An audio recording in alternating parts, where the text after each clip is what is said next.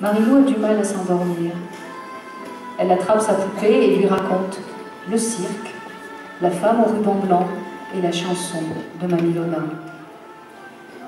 Marilou sait qu'elle est trop grande pour dormir avec sa poupée, mais elle la prend contre elle et caresse la robe en soie épaisse, comme si c'était un doudou. Elle sent le sommeil l'envahir et, sous ses doigts, là, se file une écorchure de tissu, une couture, une miette de quelque chose. Marilou rallume sa lampe. Elle soulève la robe, se penche, regarde plus près, se demande.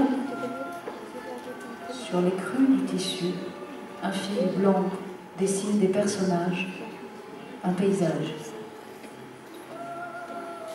Fébrile, Marilou délace le ruban qui ferme le vêtement, elle lève les bras de sa poupée, la déshabille et retourne tout à fait la robe.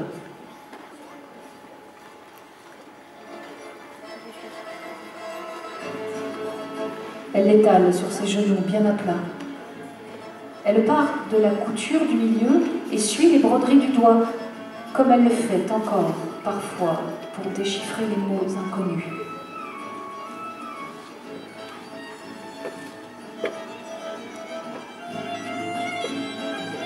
Une caravane, une famille, la mère, le père et deux enfants, un bébé et une fille.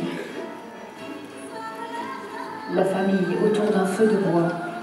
Le père joue du violon, debout, la mère chante. La caravane en feu, des soldats. La mère, le père et les deux enfants emmenés mains liées.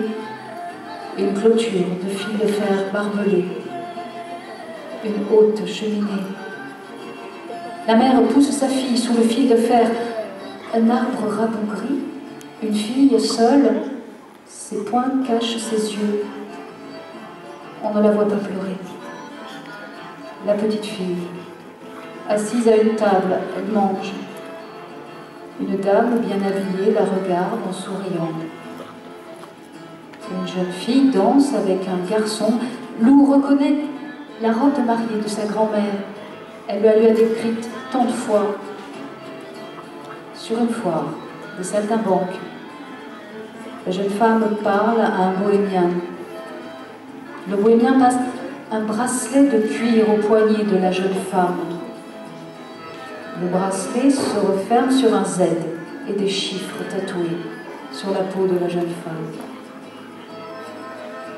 La femme, son mari, deux enfants. Mamilona a eu deux enfants. Une vieille femme, une enfant dans une pièce. La vieille femme court, l'enfant la regarde.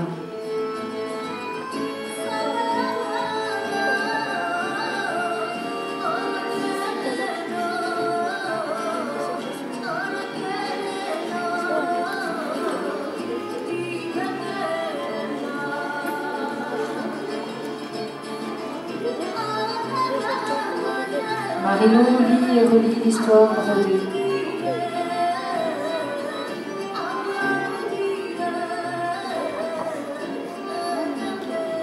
L'histoire de sa grand-mère. Demain, elle ne dira rien.